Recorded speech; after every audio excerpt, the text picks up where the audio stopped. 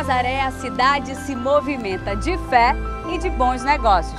Hoje vamos conhecer a história da Graça Melo, proprietária de uma loja de artesanato no Marizal, em Belém, uma cliente base acredita urbano e que no Sírio transforma sua fé em movimento para o seu empreendimento.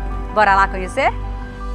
Eu sempre fui uma menina que eu sempre trabalhei com criatividade. Com o passar do tempo, eu fui fazer uma faculdade e me formei em design de moda. Eu me tornei uma artesã eu fui convidada para participar de uma reunião na Casa de Plástico.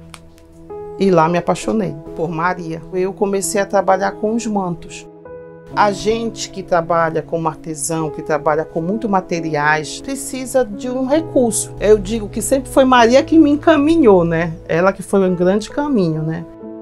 nós se reunimos uns artesãos e uma das meninas me falou que o BASA, o Banco da Amazônia, estava fazendo é, uns empréstimos. Eu virei parceira do Banco da Amazônia.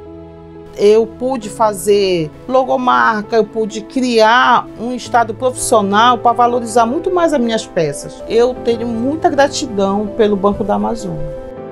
Os meus mantos hoje são mantos amazônicos, com estampa da floresta, a fauna e a flora, tudo da Amazônia. Eu tenho uma gratidão pelo Banco da Amazônia e eu sei que tudo isso é encaminhado por Nossa Senhora de Nazaré. São clientes e empreendimentos como esse que fazem o Banco da Amazônia acreditar no poder transformador da fé e do Sírio de Nazaré. Feliz Sírio!